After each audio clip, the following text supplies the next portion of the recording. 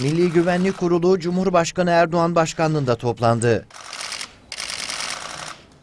Beştepe'de yapılan 1 saat 45 dakika süren MGK'da hükümete olağanüstü halin 3 ay daha uzatılması tavsiyesinde bulunuldu.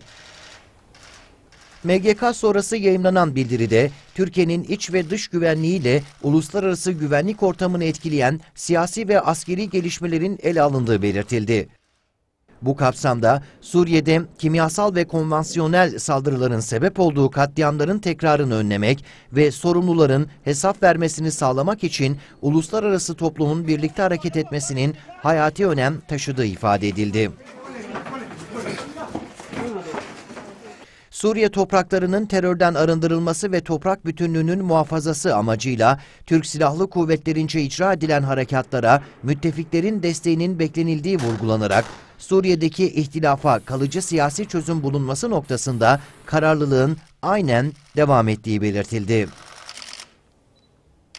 Milli Güvenlik Kurulu'nda alınan olağanüstü halin uzatılması yönündeki tavsiye kararı, MGK sonrası yine Cumhurbaşkanı Erdoğan başkanlığında toplanan Bakanlar Kurulu'nda imzaya açıldı.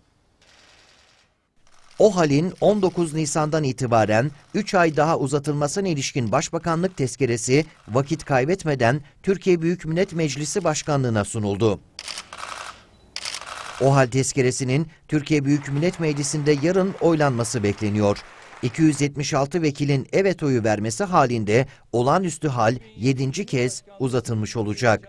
15 Temmuz'un ikinci yıl dönümüne de o halde girilmiş olacak.